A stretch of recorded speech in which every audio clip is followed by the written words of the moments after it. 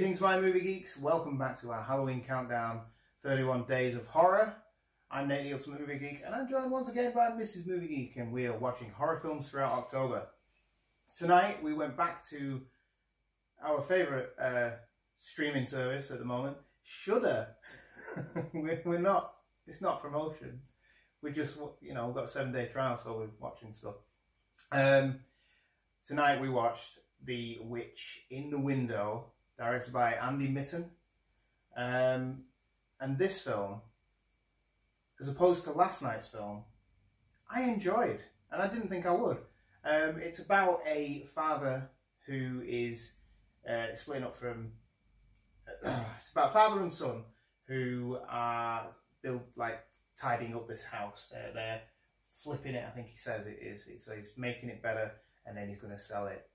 Which it later turns out that it's not. It's um, a last attempt to get back with his wife, and the move kid's mother, move the, and move the, the family, family there out to of the New York countryside. they live in the city and Mm. the father doesn't want to live there anymore.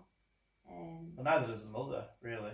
no, But they they've split up and money problems and all that sort of stuff. But they find this house, and f- from the get go, when you, the way it's filmed is quite clever because in the window above the front door, you think you see a woman. so, what did you think of this film? yeah, I enjoyed it. It's a very muted film. Um, it's Yeah. not um scary. There's no, uh, you know, like horror. There's no horror or slasher or. It is just a very It's subtle. it's yeah very very subtle um, and explores the relationship more and i don't know any of the actors in the film but some of the pieces that the Mm. father says to the son i actually found quite they feel they feel quite heartfelt Yeah, it was quite good acting in that aspect where he just starts being honest with his kids instead of like we Yeah. all do um, he's just not, not harsh but he's, he's honest Yeah. with him and it's actually quite nice in their relationship. And then there are the few scary bits where stuff happens, they have to go in the basement and you think, oh God. Um, but it isn't, and like he, the kid wakes up one night, because like I said, they're doing this house up, and the kid Mm. wakes up in the morning and his dad's talking to him, and he's sort of half asleep and he's talking away, and like the father starts getting upset, and the lad sits up and he's like, What are you on about? And the the father isn't there, and he gets and looks out the window. His father's in the garden, like working. working, doing stuff. So there's a few bits like that where you're Yeah. like, ooh, that's creepy. but there's also a, a, a nice. It's nice quite an neighbour interesting. who lives about a mile away, and he says, doesn't he, the house is, I don't like the house. I've never liked the house since I was a kid um, because there was an old woman who lived there and she'd always sit in this window overlooking everything really. You could see Mm. everything from there.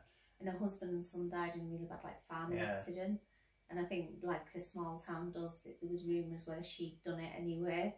On the But she used to sit on the porch, well not the porch, it was like a window that overlooked. Yeah, Um, and then you start to see her. yeah. the kid he runs upstairs to go like they're going out for pizza and he runs upstairs and he just stops suddenly and the dad's like what are you doing he's like she's here and they go up and you're expecting it because Yeah. she's full like sat there no, it's just like you and you think there. Yeah. oh somebody's got in the house it's going to be a thingy and they go around to her and they're like excuse me excuse me like they're both scared and then all of a sudden she just starts moving she runs after him and says she well, she doesn't say get out or anything no like that. she's shouting stay Stay. they run off, and then you see them in this like pizza restaurant. She's not talking. Just not talking, clearly not wanting to go home, um, and delaying as much as possible. yeah. And it is, it's just, it's like a strange film because it really worked. It's It does. it doesn't, it's not terrifying. There's bits in it that properly creep you out. The really thing I liked about the movie is there's a magic eye. That's what I was going to mention before. Yeah, I'll let you They have two. Uh, there's two scenes where Uh, there's magic eye. If you, don't, you you should know what magic eye is. If it's like a, an image that you have to really look sort of through to see the image.